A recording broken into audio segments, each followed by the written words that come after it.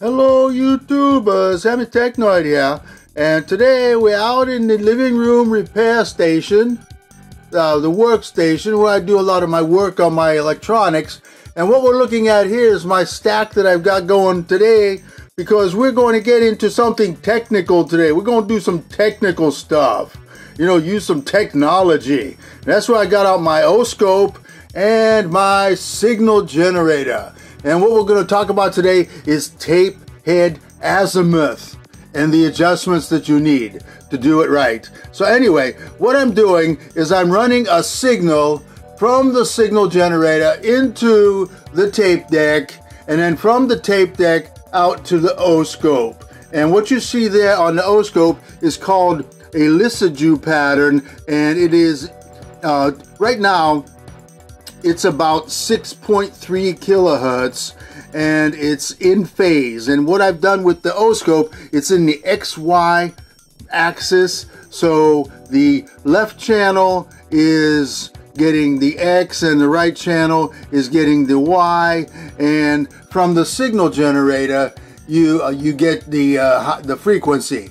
So the frequency is coming from the signal generator and the tape deck is going to record it and we're going to see how well the heads are aligned. Right now it's going through the electronics of the tape deck. Okay, so it's perfectly in phase. You see the line is sideways. That means it's in phase, okay?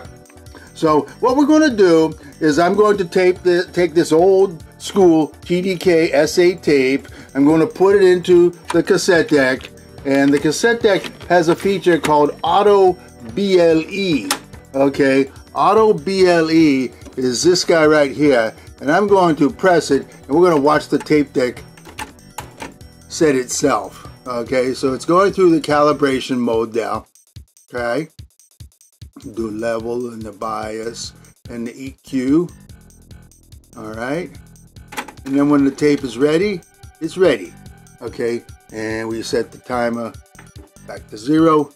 And now this is showing a dot line because it's not looking at the uh, the source, and I've got to find the source button on here. Source. Yeah, okay, so now it says source, and we're looking at a signal that's going in at about minus 15 decibel, okay? And then, there we go. We got the in phase. Now I'm going to start recording on the tape. See, right now we're just looking at the monitor input the straight electronics. And that's pretty good that the that the electronics are totally in phase. That's that's pretty cool. So anyway, now I'm going to hit record and then the play. Okay, so now we're looking at what the tape head is seeing. All right, and you can see that it is in phase and the lines are not wacky. So that that means that the tape is aligned properly. Okay, and you can see little aberrations there. That could be caused by tape dropout or some wow and flutter. But uh, that is about as sweet and as good as it gets. Okay, now what makes this so significant is that this is a fairly new cassette deck that I got from eBay. So I'm going to, you know, hazard and believe that its adjustment for the azimuth is pretty spot on. Okay, so with that, I could that means I could take this tape that I'm recording now onto onto this deck, onto this tape, and use it to adjust the azimuth of another cassette deck.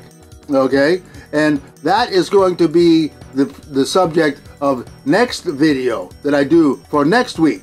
I'm going to take this tape that I'm recording right now and the signal on it and run it through the scope again, but through a different cassette deck. And we're going to adjust the azimuth of the head to make sure that it looks just like this. And you see, it's very, very straight and it's got some little bumpy things on it, but that's due to the, the imperfections in the tape surface and such. So anyway, that's what we're getting for this week.